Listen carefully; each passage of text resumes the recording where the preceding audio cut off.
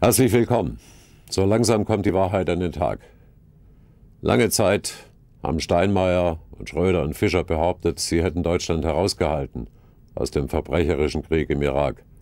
Jetzt sagt ein hoher amerikanischer General, ohne die Informationen des Bundesnachrichtendienstes hätten ihre Luftschläge niemals so erfolgreich geführt werden können.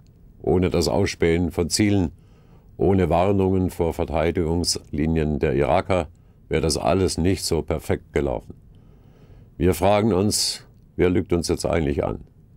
Der amerikanische General oder Außenminister Steinmeier? Der hat ja im Parlament immer behauptet, gar nichts sei da passiert. Und er muss es wissen, er war der Koordinator der Geheimdienste. Nun ist es so in unserem Rechtsstaat. Selbst ein Außenminister darf das Parlament belügen, in öffentlicher Sitzung. Aber vor dem Ausschuss vor dem Untersuchungsausschuss darf er nicht lügen. Wer dort lügt, ist ein Fall für das Strafgericht. Ich hoffe, Steinmeier weiß das.